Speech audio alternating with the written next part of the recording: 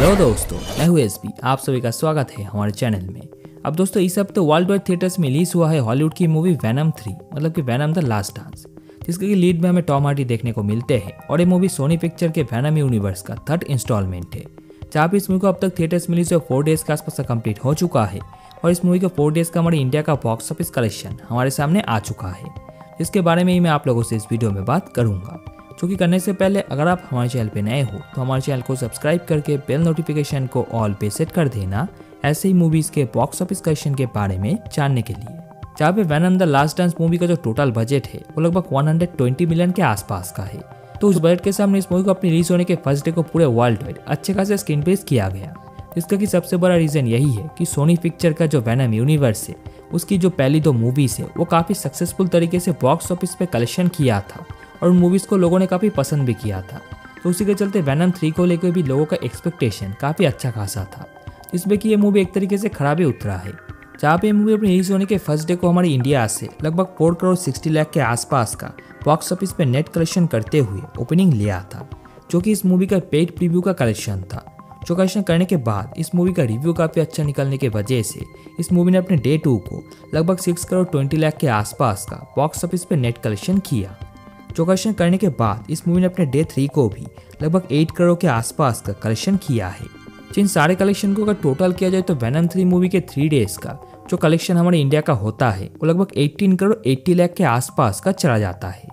जो कलेक्शन करने के बाद इस मूवी ने अपने डे फोर को लगभग 8 करोड़ से लेकर 9 करोड़ के आसपास का हमारे इंडिया से नेट कलेक्शन किया है।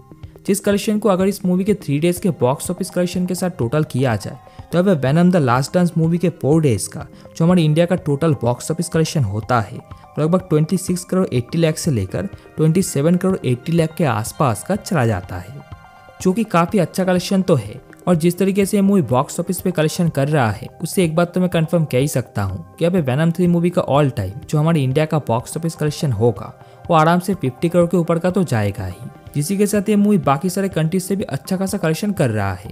जहाँ पे मूवी अपने रिलीज़ होने के फ़र्स्ट डे को ही लगभग यूएसए से 51 मिलियन के आसपास का कलेक्शन किया था। इसके अलावा बाकी सारे कंट्री से भी इस मूवी ने अपनी रिलीज़ होने के फ़र्स्ट डे को 124 मिलियन के आसपास का कलेक्शन किया। जिन सारे कलेक्शन को अगर टोटल किया जाए तो इस मूवी के डे वन का जो कलेक्शन था, वो लगभग 175 मिलियन के आसपास का था। जो कलेक्शन इस मूवी के डे वन का वर्ल्ड वाइड क्रॉस कलेक्शन था।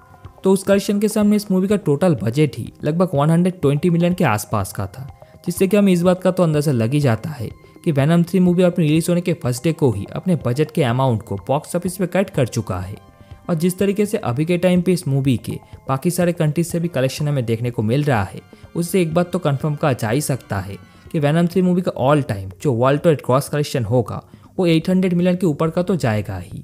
जो कि ऑब्वियस सी बात है, क्योंकि इससे पहले वैनम यूनिवर्स की बाकी दो मूवीज़ का कलेक्शन भी हमें ऐसा ही देखने को मिला। वैसे दोस्तों, अगर आप लोगों ने वैनम थ्री मूवी को थिएटर में जाके देखा है तो आप लोगों का इस मूवी क्या ओपिनियन है, इस बारे में आप मुझे कॉमेंट में ज़रूर बताना।